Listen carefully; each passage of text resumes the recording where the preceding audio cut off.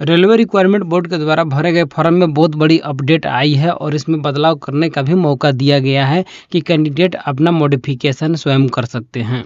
जैसा कि आपको पता है, यहाँ पर देखिए, नंबर दिया हुआ है, R R F zero two दो हज़ार चौबीस कॉन्स्टेबल का यह भर्ती निकाली गई थी। तो यहाँ पर देखिए बताया भी गया था कि मॉडिफिकेशन करने में आपको क्या प्रोसीजर का सामना करना होगा, कैसे होगा। तो दोस्तों, यदि आप कंप्लीट फॉर्म भर चुके हैं तो आप आसानी से मॉडिफिकेशन करा सकते हैं, यानी कि आप फॉर्म में सुधार या बदलाव कर सकते हैं। तो सुधार या बदलाव करने का एक कंडीशन है तो यहाँ पर आप रीड आउट कर सकते हैं।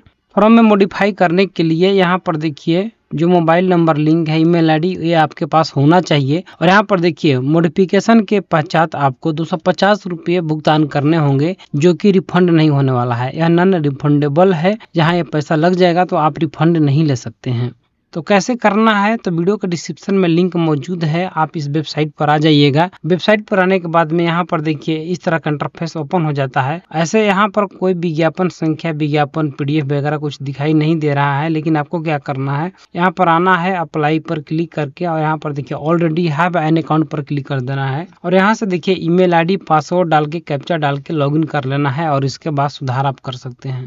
यदि आप सुधार का वीडियो नहीं देखे हैं तो डिस्क्रिप्शन में दिए गए लिंक पर क्लिक करके आप देख सकते हैं वेबसाइट पर जाकर, क्योंकि ऑलरेडी मैं पिछला साल वीडियो बनाया था सेम वही प्रोसीजर है सुधार करने का। मुझे उम्मीद है कि अपडेट आपको पसंद आई होगी। इसी तरह से नए अपडेट प्राप्त करने के लिए टेलीग्राम चैनल और व्हाट्सएप ग्रुप को ज्वाइन कर लीजिएगा। तो मिलते हैं नई वीडियो में, धन्यवाद।